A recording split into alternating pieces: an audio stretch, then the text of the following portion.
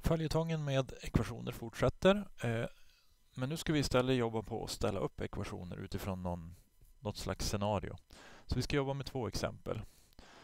För det första så säger jag så här att jag tänker på ett tal. Ni vet inte vad det är för någonting. Talet multipliceras med 7. Därefter subtraheras 3 från produkten och differensen blir då 32.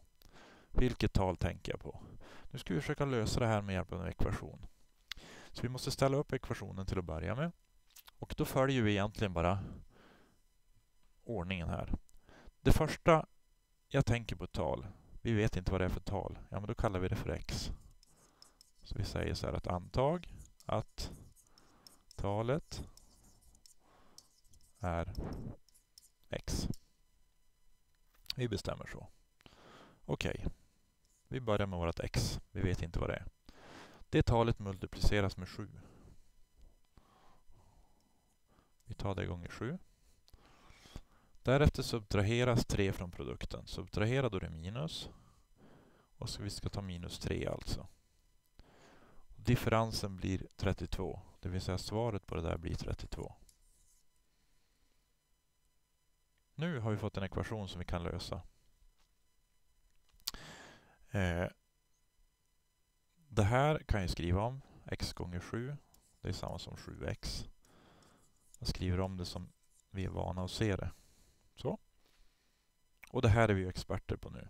Minus 3. Vi tar plus 3. Plus 3. Stryker bort. 7x är lika med 32 plus 3 35. Dela med 7. Dela med 7. Förkorta. x är lika med 5. Så talet jag tänkte på är 5. Vi kan ju testa om det stämmer här nu. Om talet är 5, jag tänker på tal 5, multiplicera med 7. 7 gånger 5 är 35. Eh, 35 tar minus 3 är 32. Differensen blir 32. Ja, men det stämde. Jag hade gjort rätt. Så nu har vi alltså ställt upp en ekvation utifrån att bara följa texten och skriva in saker eftersom. Nästa exempel. Jag är fem gånger så gammal som min dotter, så när som på tre år. Min son är fem år yngre än min dotter och tillsammans är vi 48 år. Hur gamla är vi? Här måste vi få in något x igen. Vi måste anta någonting.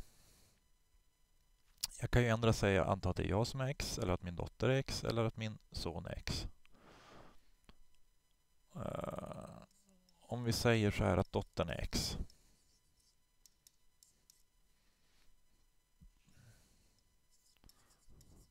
Då är det frågan vad jag är och vad sonen är i så fall.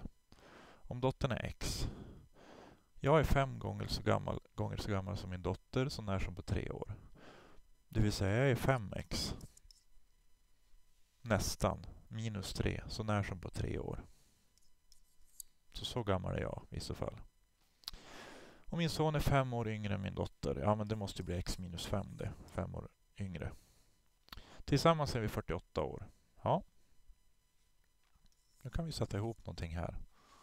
Att om jag plussar ihop alla de där så ska det vara 48. Mm, nu ställer vi upp en ekvation.